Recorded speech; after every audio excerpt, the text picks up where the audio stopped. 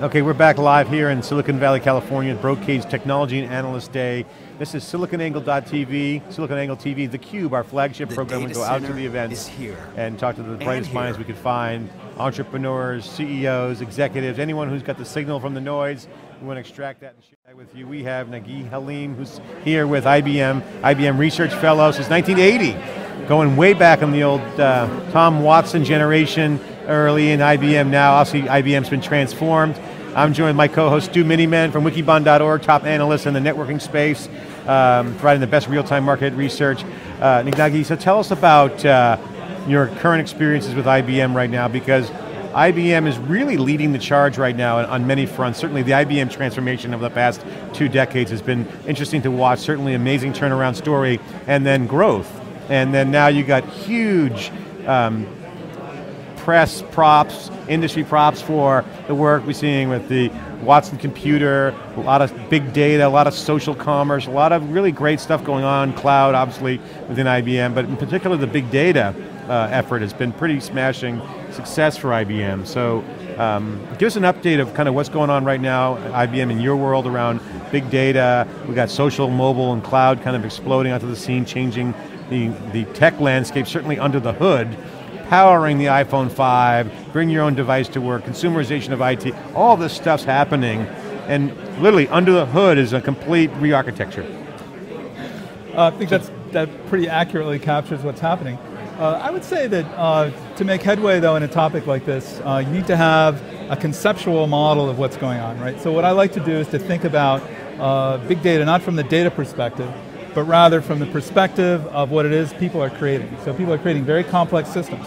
They're creating uh, immensely complicated uh, telco networks, um, transportation networks, uh, and in fact, these uh, systems that we create out of people to do social interaction are a different kind of system. Right? So many, many complex systems. And when you put a system like that together, uh, the objective is to accomplish some larger purpose to deliver some good or service, to do foreign exchange, to do capital markets. So, so some purpose that you have. And those purposes are always uh, very important, sometimes absolutely critical. And, and when those systems operate, what's really happening is that they throw off a lot of data, and that data can now be used to understand what the system is doing. So that's the perspective that I've kind of developed on this. So you have both man-made systems, you have people themselves that are complicated entities, right? Human beings are very complex themselves. So uh, we're talking about medical kinds of applications, but then also natural systems. In a way, the schema of IT is changing to uh, all kinds of different schema, and that brings up the whole notion of the, we're in a connected world, right? So, you know, you, as you said, this construct is uh, IT and infrastructure providing all kinds of packets moving around, but now you got a consumer that's connected to the network with a device, and that's providing data. And so the advent of NoSQL databases, virtualization, provides a new paradigm for developers. And obviously with solid state, you now have an unlimited memory. Right. so, so this canvas that's going on right now from a creativity standpoint is pretty amazing. So share with your insights around what you're seeing around this, this new transformation to this modern era where everything's changing. Programmability, um, with things like just addressable memory. And spinning disk is going away to solid state, database technology is changing. Again, so it's, just, it's amazing to kind of, it's hard right, to really so, get your arms around. Right, so, so all the things that you're talking about though, uh, still are about creating capability and facilities to make life better, right? So uh, if it's dissemination of information to individuals through uh, personal devices, or if, if it's in a hospital setting where you're monitoring patients very closely, or if it's uh, you know, sort of mapping or any of these other things, these are systems that provide some kind of product, some kind of benefit for individuals, right? And now those systems are being built out of all these new technology things that you're talking about, right? You build them out of solid state instead of disk, you build them out of high-speed networks instead of old clumsy networks, et cetera. But it's all to advance the provision of services to people, right? We're providing better healthcare, we're providing better communication, we're providing better social awareness. So we're building things to do that. And so of course I'm very familiar with and work with all of the underlying technologies. But from a big data perspective, what I'm really focused on is each of the different industries that's building systems has some important question they want to ask or answer, have answered. So if I'm building a network, I want to know how that network's being used. So would it be safe to say that one of the benefits of big data is, um, two benefits, main benefits of big data is one, answering existing questions faster, Right. And two, answering questions you never could answer before. That's right. Is that would that be? So, so, so I would say faster, but also more accurately and more automatically, right? So as the systems get more complex that we're building, they have more scope, they do more things, they're more automated, and there's also the risk that those systems won't do exactly what you want because they're difficult to control. People are good at building the systems in the first place. Once they're built, you don't necessarily know exactly what's going on under the covers because things are happening so quickly and on such a scale. And so big data now can provide instrumentation essentially, think about it this way, a new kind of instrument for looking into your systems and figuring out where the inefficiencies are, where the fraud might be taking place, where the system is not operating as designed, where some emergent behavior may be coming out. So for example, where the system may be deciding too much traffic is going through one place, so maybe it's too uh, uh, much of a single point of failure. Many okay. things can happen, right? So, and each different, what's fascinating about it for me is that each different industry uh, has different kinds of questions. If you're an agriculturalist, you may want to know how your seed is going to perform. If you're a transportation guy, you may know what, where your pinch point is in a communication in a transport network, right? So if you're uh, distributing electrical power, you may want to know where you have power theft or loss of power, or where you have uh, equipment that may be failing because it's overused. Right? You know, I love that term, instrumentation, because you know, you think about it, it's like a network management problem. You know, I want to instrument my packets on the network. But in reality, life with big data, as you mentioned, is one where you need a lot of policy, another network concept. But in a way, the networks we're living in are distributed networks. right? So every, uh, every piece of data, whether it's a human being involved, is a distributed network. So in a way, network principles apply now to the data. So Oh, they do, absolutely. So how do we enable this environment where dynamic policy, because essentially what you're saying is every industry, you can't project syntax onto one industry because it's different to another. And so you have to have some flexibility and agileness around you know, systems. I got to be adaptive and I got to be able to be flexible so that one industry can ask one question and be just as powerful as the next industry, which has a completely different semantic question. Right, they absolutely do.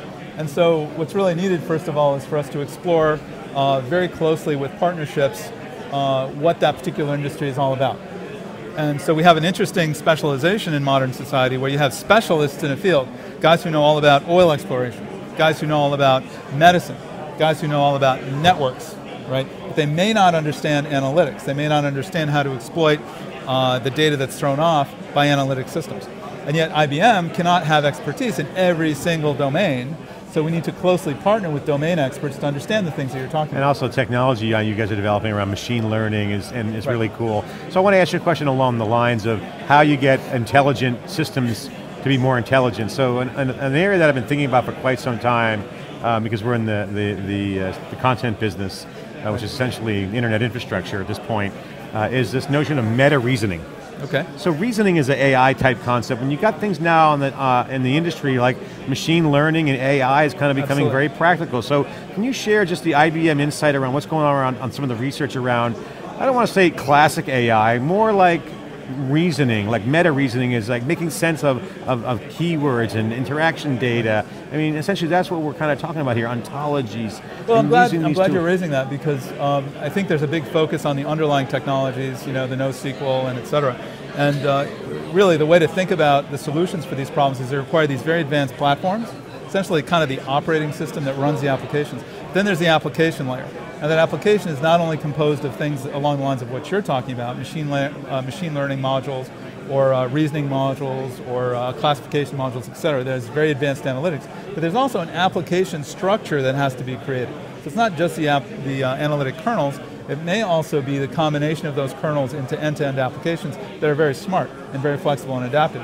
And some of this requires um, technology that's actually quite advanced for example, planning technology that can understand a little bit about the problem you're solving and potentially reconfigure the applications to better address or attack that problem. What's some of the cutting edge work? How, where are we in this? Because that's really kind of, I'm seeing that as an important part of kind of these future apps, especially as things have to be retrofitted for mobile and different kind of environments uh, versus the full-on big bloated application module in the past. Right. So what, what, what, where are we? Are we in the bottom of the first inning? Is it, uh, can you give us some sort of benchmark in your opinion? Like, I mean, are we in the middle innings? Are we like, well, you know? Let me give you sort of a, of a, of a sliding answer in the sense that, you know, we're pretty good at solving the problems that people want to sort of take on right now okay? And, but, but the point would be that there are problems way beyond the ambition of people that uh, we can't yet solve, Okay, so what I'm saying is there's kind of a progression or a ladder from Yeah. where the problems are today that are practical. So today, for example, we may want to look at transaction fraud in uh, financial services. We can do a pretty good job with that. But maybe we're not ready yet to do facial recognition in an airport. That may be beyond what we're able to do, or real-time speech analysis, right? Where are we with computing? Uh, I- we were just at Intel Developer Forum yesterday, uh, getting kind of down and dirty in some of the weeds around some of the tech around, Sure. uh, see compute, storage, networking, all this stuff's going on, and uh, silicon's being advanced. So it's not just silicon anymore, it's solutions, right? So you're seeing more integration, Intel moving from an element to now more solution specific. Computing and virtual machines give us more capability. Where are we with that in your opinion of, of in terms of uh, advancement? And we've got a lot more work to do? I mean, with things like crunching numbers and simulations now we're, we're doing stuff in the cloud. Where, where are we relative to the, to the progression in that? I feel that we still have a, a ways to go in terms of making significant breakthroughs and getting away from the fairly classic von Neumann programming model. Uh, a lot of it's handcrafted work, right? And so we're starting to investigate things for the automation of multi-core exploitation, uh, things of that sort. And we're also looking at uh, reprogrammable logic to uh, improve application performance. So lots of things there. But I would say that we've hit some, uh, I would say, stall points, and I'm still looking for some breakthroughs to happen. So Stu is giving me the, I got to get a question. Stu, I'm sorry for ignoring you. Um, It's all, it's all right, John. I, I know big data is one, one of your passions here. Uh, so, so t- two questions. One is, you know, we're, we're here at Brocade. Right. And I was wondering, uh, I was reading about some of your, uh, it's the InfoSphere streams. Right, Um, if you could talk about the, the Brocade relationship. And then the second piece uh, is, you know, you're in research. And Right. IBM's done quite a lot of a- acquisitions in the big data space. Matter of fact, uh, Wikibon's based in Marlboro. Right. Netezza's right around the corner from Sure, us. nice. Uh, nice folks. You work with Natiza, you work with Cognos. You know, if you could talk a little bit about what you see inside of kind of the research versus versus the M and A and how those interact. So two Okay. very different topics. Yeah, but yeah, I was right, wondering right. if you could, you know, before So we run out of time. which? Uh, Brocade and Okay. InfoSphere and right, how, how you so, guys uh, partner together. Okay, so um, that one's pretty simple. So InfoSphere Streams is all about this live data acquisition and processing uh, platform. And we're talking about extremely high speed uh, analytics that can take in, you know, millions of messages per second